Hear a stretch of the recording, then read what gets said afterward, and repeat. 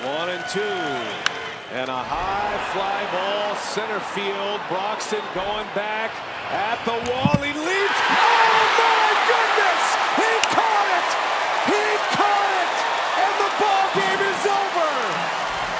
Oh baby.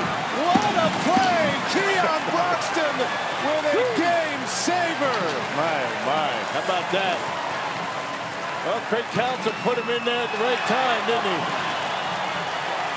I'm sure Perez makes that catch. That reaction by Knebel says it all. Broxton pulls one back.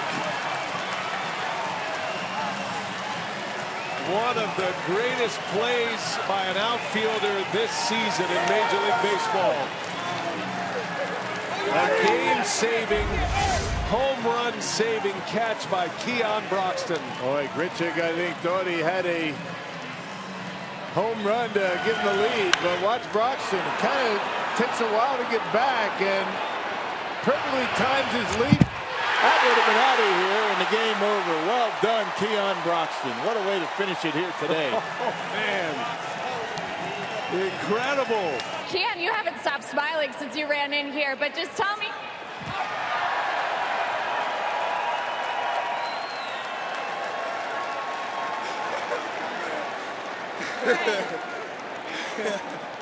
right, well, Corey Knebel has him one, two, but take me through that play. You've made so many great catches this season, but to win this one, to make that final play there at the wall, take me through kind of your thought process and how you get to the wall there.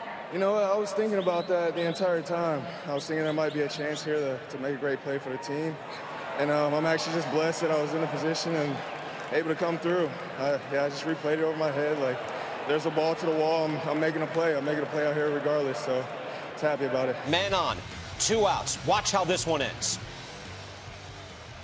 Here it is, swinging and a fly ball in the center.